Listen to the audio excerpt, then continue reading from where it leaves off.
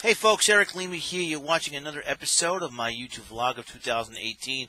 It's also the second channel and chapter of my original vlog, The People's Lima, which can be seen under my real name on my other YouTube channel. My name is Eric Lima once again, and you are watching EML 77 TV. It's episode 128. We probably have a humongous rainstorm out there, and uh, it's a little crazy. Um, to say the least, it's it's uh, totally insane. But um, this is the last full week of summer according to the calendar. I checked the calendar all wrong. I thought it was this Wednesday, aka tomorrow, but it's actually Sunday. So this is the last full week of the summer season, and later on that week, and possibly Thursday or Friday, I will give you my top five summer personal summer highlights uh, of my personal summer. I thought it would be good to do that. And um, excuse me for a minute, a little itchy of the ears there.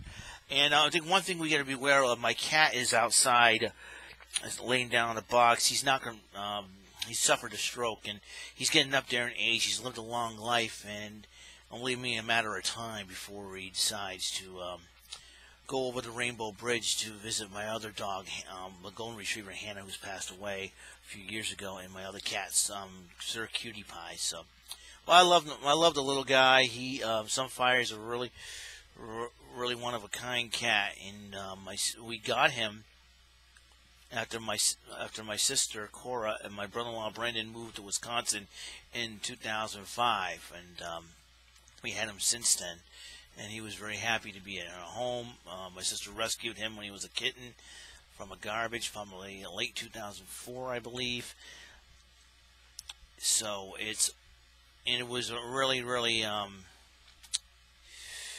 it, it, so it's really, really tough seeing him, and he's been not walking straight and all. I just ask y'all to keep him in my prayer, and keep him in your prayers, and I really do appreciate it. You know, I know the little guys don't got much long, but you know what? I love cats. Cats are really cool. So, um, and they're fun. And they're fun. You know, they get along. You know, sometimes they get along with dogs. Sometimes they don't, and they like to play. You know, this one used to, used to be a loving cat. He likes to come in my room a lot, hide under the desk or something like that, where nobody can get him. But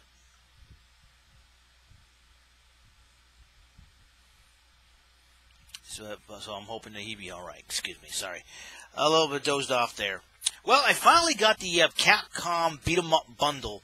I got a few pictures in the uh, thing. The cool thing about the Nintendo Switch is, is that you get to take pictures um, while you're playing the game or something like that, and you know save them. Like you're like you're in action. So it's being charged up right now in this little doohickey thing. I got to show you what you know. And let's see, it's, it's it's really cool. I like it. So so it's really fun. Um, so that's the, um, the other thing. Well, my package came in. My package came in. I don't want to show the address. Actually, my package came in. Let's see what it is. All right, just uh one thing about packages that come in the mail, they're hard to open, that's for sure. Um, then I'm a little fun. A little Hulk Hogan, brother. Ah, check it out. Awesome. Oh, hold up. There's a receipt.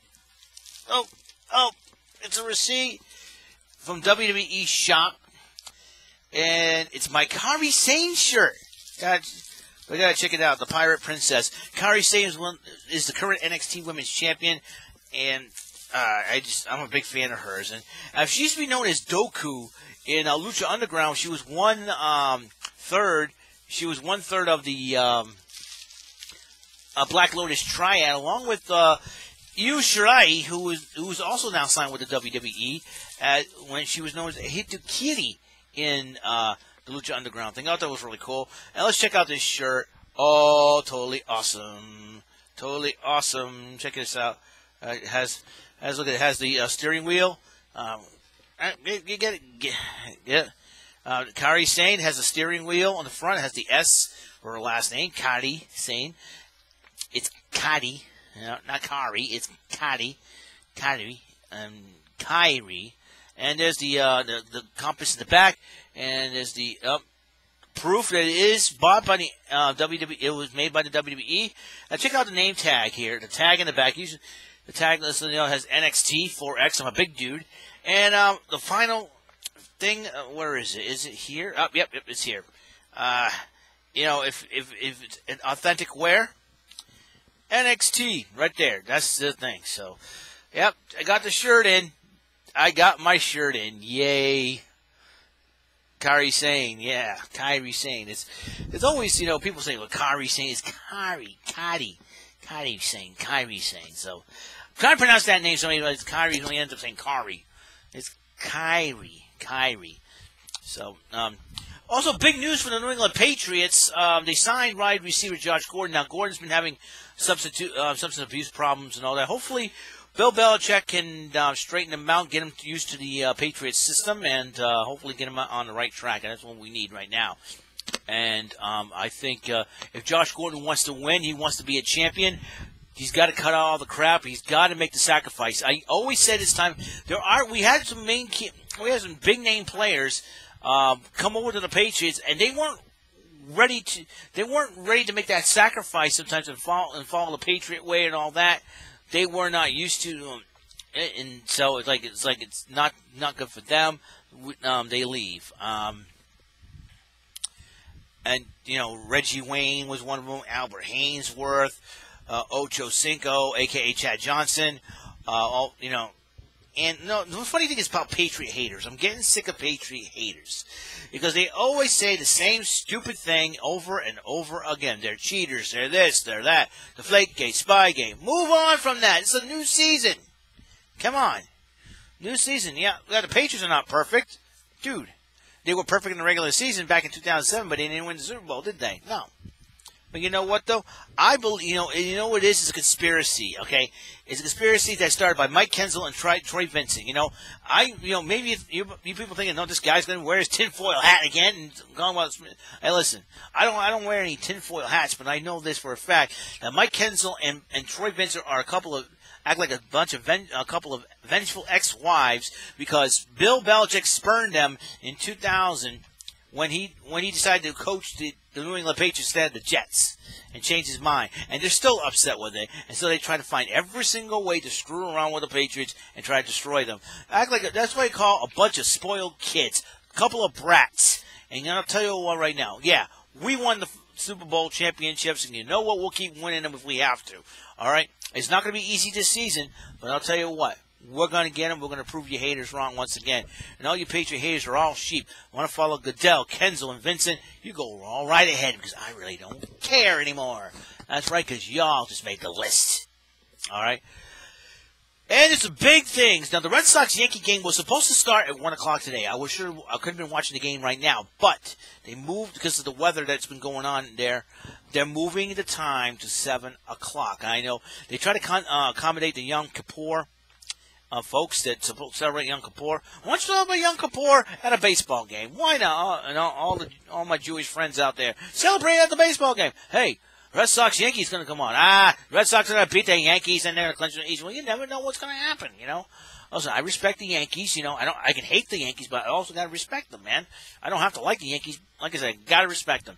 You know, like I said, they had some classy players over there, like Derek Jeter, man. Derek Jeter, one of the classiest um, guys who played the game, loyal to his team. You know, Bernie Williams was another one loyal to his team. Um, you know, Mariano Rivera, another one. You know, gotta respect these guys. You know, you know they they go they come in the ballpark and they play the game, and that's all they do. They don't get themselves into trouble and all that. Um, that type of deal. You know, you're talking about. Um, you know, Mario Rivera had a family emergency. You know, went into 2004. You know, ALCS at the time, and that shows me that he knows that family. You know, he always believes in family. And uh, listen, you know, and you know, Red Sox fans pick on him when he helped us win, when supposedly he blew the save, and they all gave him a standing ovation. And he's like, "Oh, yeah, yeah." I know it was great, and just to see that, it just he has a lot of fun. So uh, I like, I'm a big fan of. Uh, I like I like Mariano Rivera. You know, my my salute goes to him. And Derek Jeter, you know, the guy who brings class, you know, and brings um, um, class to the game. You know, you don't see him you know, get suspended for steroids. You rarely see him get ejected from a ball game.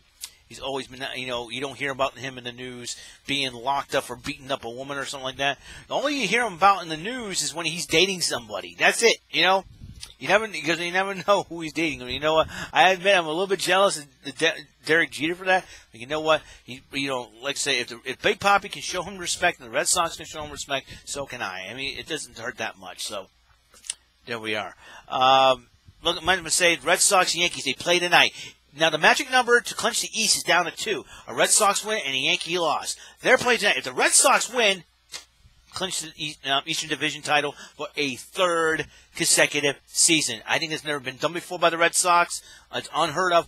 I think the last time somebody did that, though, would be the Yankees. I think in the early '90s, I believe, um, the mid '90s, I, I, think. So I got I got to check out last time that's happened. But um, as far but as far as the Red Sox is concerned, it's the first time in their history that they uh, done this three um, days, in, uh, three seasons in a row, win the American League East. So I, I think that's a really cool accomplishment in its own right.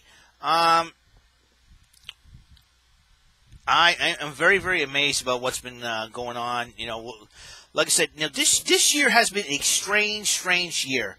Um, to say the least, because there's been a lot of changes been going on, and you're trying to get used to it. You're trying to keep up with things, and you're like you're frustrated. I think I felt like I was frustrated most of the time. It's like maybe maybe uh, you know, like I said, the summer the summer has had a lot of changes happening. Man, it's it's just it's just surreal. It's just surreal. that's all I can say is just surreal that you know you're trying to get you're trying to get used to the changes and trying to keep up with it, and you feel like you're driving yourself crazy by doing so. And um, hey, you know what? What can I, what can I say? You know what I mean? Just I don't know. So, well, well, that's all the time we have on the show. Um, like I said, keep my cat in your prayers. I know you're like, no, pray for my cat. You know, pets are. Before I go, uh, pets are part of our family. Um, whether we, whether we like it or not, you know, and I, know, I like the fact that we know pets can be part of our family. And, you know, they're like, you know, you know, that's why most celebrities or most uh, people call them fur babies, and that's what they are. If they can't have kids, and uh, actual human kids of their own, how about those kids of the four-legged kind? Because they act like kids sometimes. So, uh, and uh, you know, my cat, Sunfire, like you say, was one of a kind, and uh, and right now he's suffered a struggle. We can't do anything right now for him, and uh, I hope we can. You know, I want to, you know he is he is not uh, not the same guy. You know, he's not the same guy that we all know and love, and he's trying. You know, he's trying. He's trying to do the best he can. And he's trying to. You know, he wants love. He knows. He knows what's happening to him, and he, he he's probably scared for his life, and I don't blame him. You know, and uh, it's hard for me to fight. You know, last night I decided to let him um in my room. Um, I got him on my bed so I could take pictures of, the little guy because you never know when he's going to go. And the little fella just he he he, know, he knows what's happening to him. Um, he knows what's going on with him, and uh, he's kind of scared.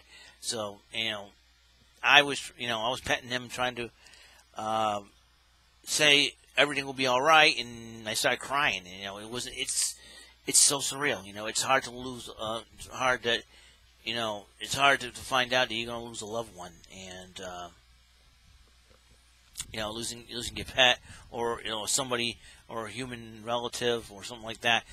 Anybody that you love, it's hard to let go, and it's hard, you know, whether it be physically, uh, when it's it's like I said, it's you know, it, it's been uh, a difficult, you know, life has been life is the most difficult journey that we ever embark embark upon. All of us have, and it's this day and age. Um, with course, you know, a lot of a lot of people are big fans of, of President Donald Trump. You know, and I'm not a big fan of the guy either. But you know, you know, there's some stuff that you know, like I said, he wanted to protect religion, and that was you know, that was one thing that you know I respect about him, and then that's about it. But there's sometimes you know, you know, a lot of people just don't like him. I said, listen, I know. I think you know. I think sometimes you, you want to make our country great again. You have to make a lot of sacrifices, and I think one of the biggest sacrifices he made it was his popularity, if he had any. You know what I'm saying?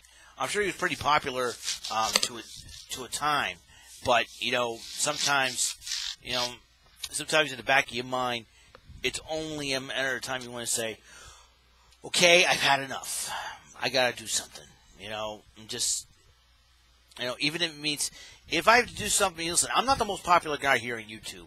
You know, I really don't care. All right, it's is the attitude that I have is that I'm doing this for fun. I'm doing this to uh, to share my life with the world, uh, who, who I am and what I'm all about, and um, just you know, and share my fun and entertainment, uh, my opinions, you know, and that's that's who I am. You know, I uh, and I don't, I don't, uh, you know, I just want to, you know, share my heart with the world, and that's what I'm all about. Share who I am and why I do this. And you know, a lot of you know people out there don't understand. You know, complete strangers on the internet telling you, hey, you know, um, you know, you're this, you're that, you're a loser, you're living in your mom's basement, blah blah blah blah blah. You know, and and they think they they think they're better than you, and there's there's people out there that that act like that. And it's really sad, you know. It's really sad. And then they accuse you of something that you have nothing to do with, you know. Oh, you're friends with somebody they don't like, and, and all of a sudden they start getting on your case about it. I'm like, what for? What did I do? You know, it's like, you know, seriously, you know, I feel like going. You know what I mean? It's it's it, you know sometimes it, I personally think it's it's disgusting. You know that people want to act like that and um, you know be disrespectful towards celebrities, whether it be fat shaming them or job shaming them or even house shaming them. You know what I'm saying? You know, listen, you know, listen. I don't live in the most glamorous city in the world, okay, and that's that's a, that's a fact. You know, if you if you if you even drive, if you've been to New Bedford, people, I mean, if you have, then you will understand. But you know, at the same time, uh, you got you got to understand where I'm coming from. You have to understand where I've been. You know, my life has been, like I said, it had you know I don't I don't have the easy life. I don't uh, I don't have the glamorous life, so to speak. And uh, if I wanted to live the glamorous life, you know, that's fine by me. Oh, I just I, just, I had to get back. I, am sorry. Um, you know, if you, um, you know, like I said, you know, I, my videos are not perfect.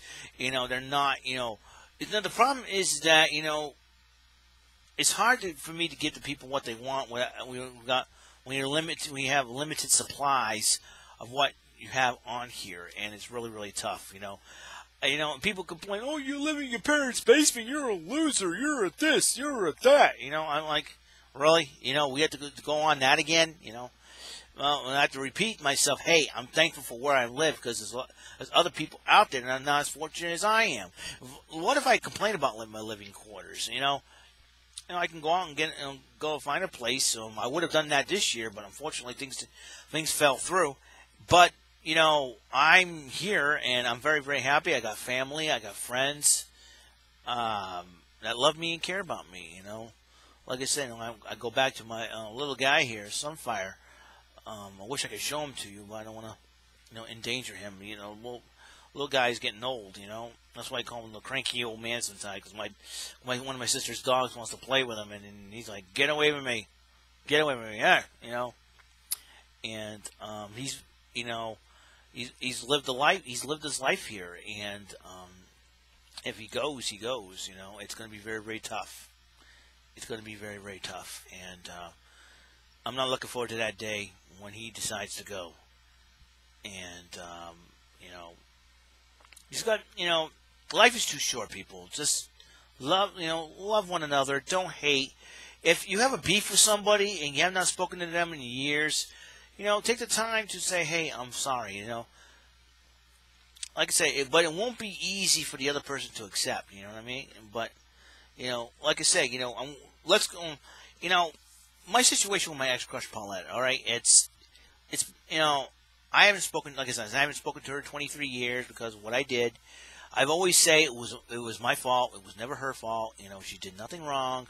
But I'm very very thankful that I went through that because I learned a lesson from that. That way, people, uh, so I can go out here, there and tell people, don't make the same mistakes I made. If you're in love with somebody, you know, if you have a crush on somebody, let them be, you know, because you never know. Because that's why I'm very very careful nowadays. Like I said, when you know, if I have crushes on girls, I have to be careful about or women or on women, got to be careful with whether or not they have a boyfriend or, or what. Just you know, got to stay away, keep a distance relationship, and be, just be friends with the person. That's all. That's all I'm saying. You know, and people say, "Are you gay?" No, I don't swing that way, man. You know, but that doesn't, you know, I don't swing that way, man. I just, I just, I'm just gonna be single and just be me. That's, uh, that's all I, I see it as.